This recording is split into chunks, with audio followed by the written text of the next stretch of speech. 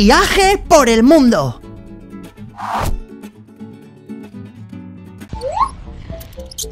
Lola y Javi vuelven del cole preocupados. Su profesor les ha mandado investigar sobre su familia y no saben por dónde empezar. Mira, papá, este mapa habla de nuestra familia. Gracias a él descubriremos dónde nacieron los abuelos y además conoceremos a otros familiares. ¡Es genial! Chicos, haced las maletas. Gracias a este antiguo mapa y a mi último invento, el transporte mundi, buscaremos las huellas de nuestros antepasados por el mundo y veréis qué divertido será hacer vuestro trabajo del cole. Abróchense los cinturones. Nos vamos a París, la ciudad de la luz. Siempre he querido conocer París, el lugar donde nació y trabajó el abuelo Pierre. ¿Es verdad que restauraba cuadros en el Museo del Louvre? Sí, Lola. El abuelo Pierre también conoció a vuestra abuela María en ese museo. Se enamoró de ella nada más verla y le pidió matrimonio en la Catedral de Notre Dame.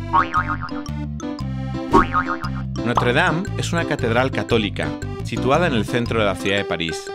Ha sido el escenario de importantes hechos históricos y también de la famosa novela El jorobado de Notre Dame. Ahora lo entiendo, papá. La abuela vino a París a trabajar y conocer la Torre Eiffel. Y al final formó aquí su propia familia. La Torre Eiffel es una estructura de hierro construida por el ingeniero francés Alexandre Gustave Eiffel para la Exposición Universal de 1889 en París. Está situada a la orilla del río Sena, en París, y es el monumento más alto de la ciudad. Cierto, Javi, en España faltaba el trabajo y mucha gente tuvo que irse a otro país. Chicos, hagámonos una foto como recuerdo y continuemos nuestro viaje hacia Murcia, la tierra de vuestra abuela.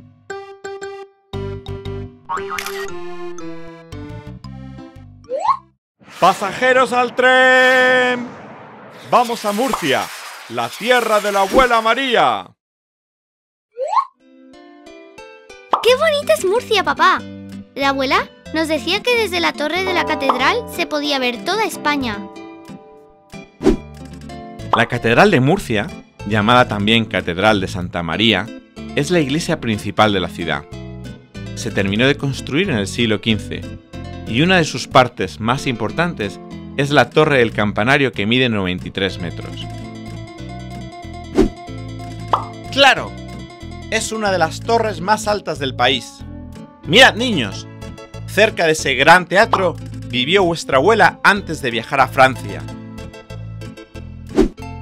El Teatro Romea está situado en el centro histórico de Murcia. Es el teatro principal de la ciudad y uno de los más importantes de España. Fue inaugurado por la reina Isabel II en 1862. Papá, la abuela María trabajó de joven en la huerta, ¿verdad? Un día en clase, la profe nos dijo que los campos murcianos eran tan ricos que enviaban fruta y verdura a toda Europa.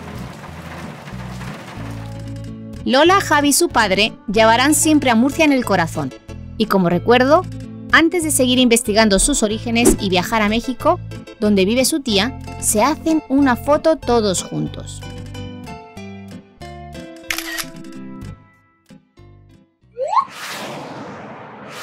¡Apaguen sus móviles! ¡Viajamos a México lindo! La familia ha quedado en la gran plaza. Su tía Rosa les cuenta que vino a este país porque le gustaban los cuadros de la pintora Frida Kahlo y se quedó a vivir aquí.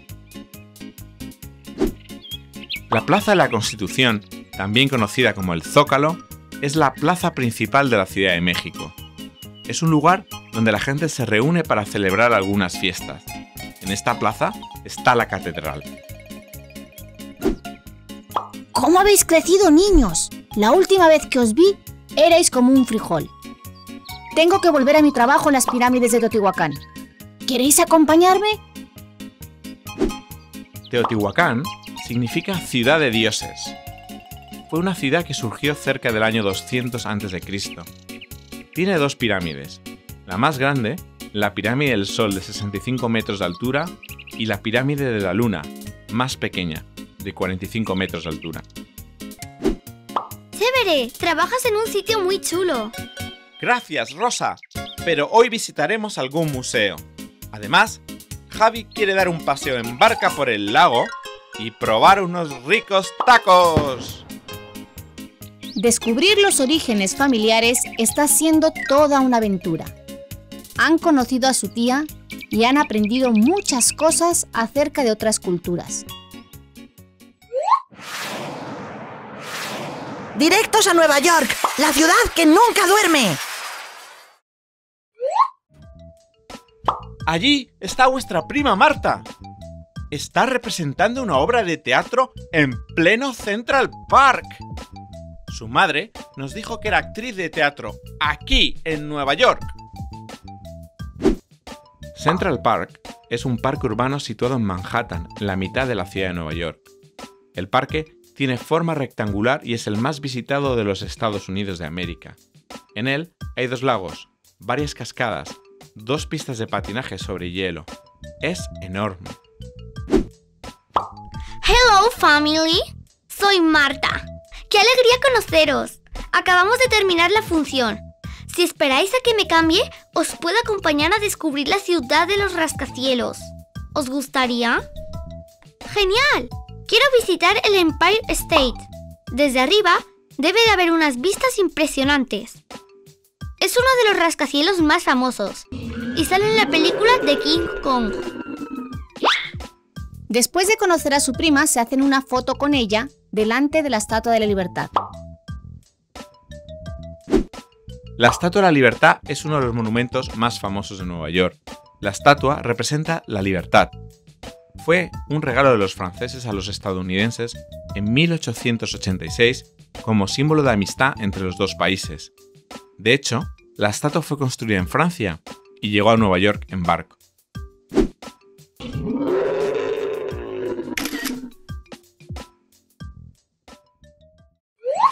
Embarquemos dirección Sydney, la ciudad más grande de Australia.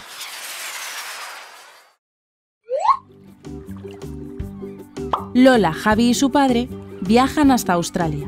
Su madre, que era bailarina, actuó varias veces en el Teatro de la Ópera de Sydney y los niños quieren conocerlo. La Ópera de Sydney es uno de los edificios más famosos del siglo XX. Fue inaugurado en 1973. En él se realizan obras de teatro, ballet, óperas y funciones musicales. La Casa de la Ópera contiene cinco teatros, restaurantes, salas de ensayo, tiendas. Es muy grande. Este teatro es precioso y desde aquí se ve toda la bahía. Dicen que su tejado tiene forma de conchas, aunque a mí me recuerda a un erizo. Tengo una idea. ¿Y si atravesamos el puente de la bahía corriendo descalzos como hacía mamá? Venga, ¿quién se atreve? El puente de la bahía atraviesa la bahía de Sydney y une la zona de negocios con la zona residencial donde vive la gente. Tardaron más de 8 años en construirlo.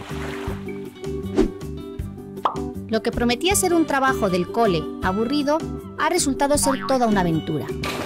Ha sido increíble conocer quiénes fueron sus antepasados.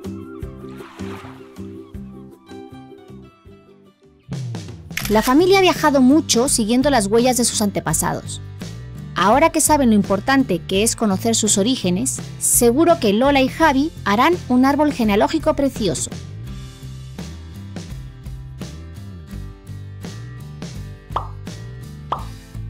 Si quieres seguir viajando por el mundo, haz clic en los recuadros para conocer nuevas ciudades.